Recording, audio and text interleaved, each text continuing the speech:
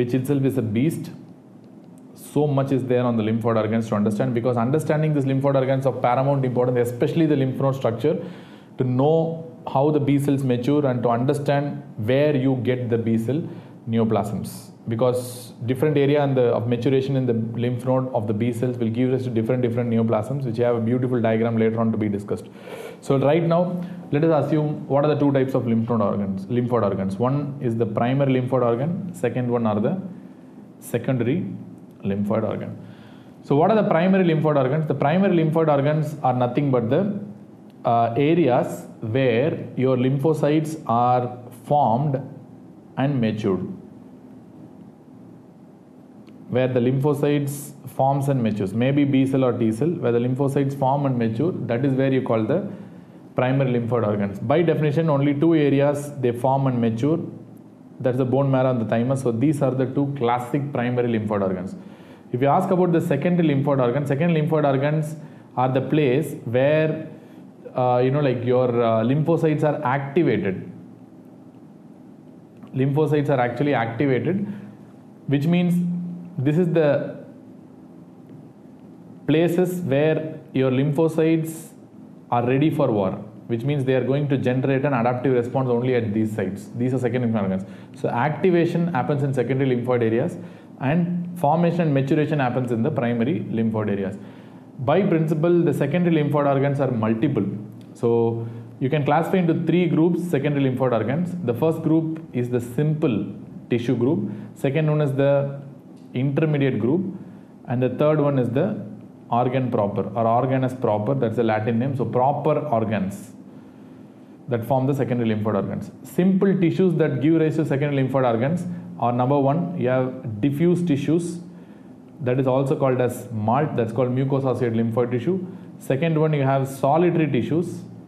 Solitary lymphoid tissues that usually seen in the I mean intestinal mucosa. And third one are the lymphoid aggregates that you generally see in the form of Peyer's patches in the intestine, especially in the ileum.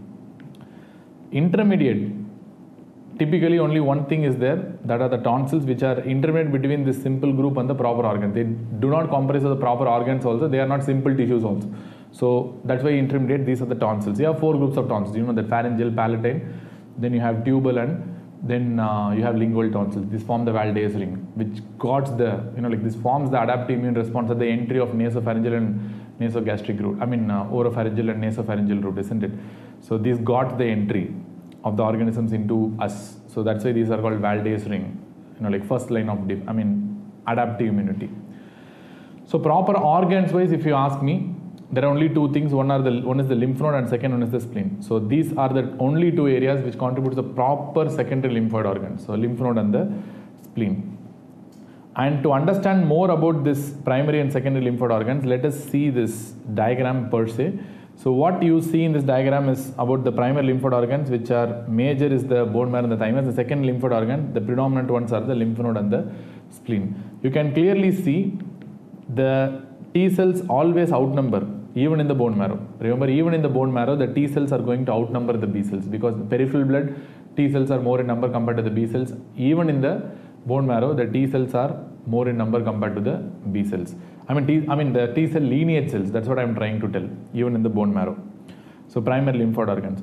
So if you see what is going to happen, what I'm trying to tell is, see, leave the bone marrow, but in the thymus there are two zones. This is what we call the cortex and uh, second one the deeper structure is what we called as the medulla in the cortex you can clearly see from this image they are actually TDT positive the moment you call cortex TDT positive means TDT always means the cortex will contain more primitive cells which means they are immature cells the moment you call it TDT negative means they are more mature cells by analogy the medulla is going to contain more mature T cells compared to the cortex so this is very very important. So that's why it's given more dark blue, green, more primitive cells, and light blue and green. I mean, this diagram gives rise to more mature cells. Similarly, in the secondary lymphoid organ, secondary lymphoid organ, you are going to see mostly mature cells only. But I mean, anyways. But what you can see is like uh, in the I mean, uh, what what you are seeing is the uh, T cell areas and the B cell areas. You can see these are the follicles. These are the follicles In the follicles, you can see typically the B cell zone, and similarly in the follicles of the spleen also you are seeing the B cells. This is very important, which we discussed already. In the follicles, you are going to see the B cells only. In the parafollicular area, for example, if you see in the parafollicular area, these are the parafollicular areas. These are the parafollicular areas. In the parafollicular areas and the periarterial area, this is the periarterial area around the follicle. So, where you see the T cells in general, where you see the T cells in general. But what in striking contrast, in I mean, when compared to the primary lymphoid organs, is that you can see, uh, you know, like the more primitive cells here are actually seen in the center. You can see the center contains more primitive cells and the surrounding is containing more mature cells which is the exact reverse of what you saw in the primary lymphoid organs for example in the thymus in the thymus in the center you had more mature cells and in the periphery you had more primitive cells. But whereas in the secondary lymphoid organs the center contains more primitive cells whereas the periphery will contain more mature cells. So that is how it's going to work. So these are some of the differences between um, the primary and the second lymphoid organs. Remember, uh, you know, like the T cell areas, the B cells are the ones that are going to be constant in the follicles, and the T cells will be either in the surrounding the follicles or, I mean, which is called as parafollicular area or perifollicular area in case of the lymph node and periarterial area in case of a spleen. That is where you see the T cells. So, very easy to understand, isn't it? So, these are the things that you have to understand about the B cells and the T cells now we are we can talk about the primary lymphoid organs i mean important primary lymphoid organ so the most important primary lymphoid organ is the bone marrow we have discussed enough about the bone marrow in the very first video on hematology. Lot of about things about what is the cellularity you know like uh, the different components of the bone marrow starting you know like what are the areas that contribute how to examine the bone marrow what are the indications contraindications everything we have discussed already in the first video of hematology. So i'm not going to discuss anything more. The second thing is about the thymus. Thymus is a very important primary lymphoid organ. So, which is, which is the place where you generate the T cells. These are the T cell factories. This is where you generate the T cells. Typically, the thymus is located in the superior and anterior mediastinum. Anterior mediastinum. Or simply you can call it as retrosternal and pericardial. Retrosternal and precordial. Remember, that is the reason why, since the location is in the anterior mediastinum, that is the reason one of the important differential diagnosis for an anterior mediastinal mass is a thymoma. Very important differential diagnosis. So, it, it is thymomas are going to result in anterior mediastinal mass because of the location, anatomical location. Then, um, thymus is one of the, you know, like very active glands in childhood. For example, if you ask me what happens in child, thymus usually is very large Whereas in adults, they go for involution and they go for something called age dependent atrophy. They go for something called thymic involution and they go for something called age dependent atrophy. So that's what is going to happen, which means in the children, this large thymus can be seen very prominently in the chest x ray. In the chest x ray, is going to give rise to something called a thymic sail sign. So it's a very common question in the exam. What do you mean by thymic sail? Thymic sail is something you see in the chest X-ray, a prominent thymus shadow, very common in neonates especially and newborns. Uh, that is what the prominent thymic shadow in the X-ray is what we refer to as something called a thymic sail, which I will show you in some time. So these are things. So what are the components? So when you do a histology or a biopsy, what are the things you're going to see in the thymus? So remember, so two things as I already told you, you have a thymic cortex and a thymic medulla.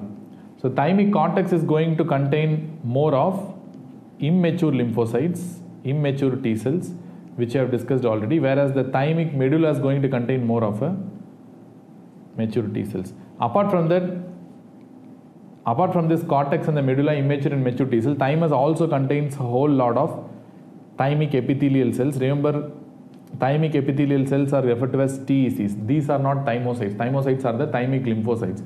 These are thymic epithelial cells, which also is very important. They can have lot of thymic macrophages and they can have DCs also. These are important for education of the T cells as well. So these are what we call, these are the different components that you see in the histology. And as far as the embryology is concerned, where the thymus originates from, thymus is said to originate from the third and the fourth pharyngeal arches.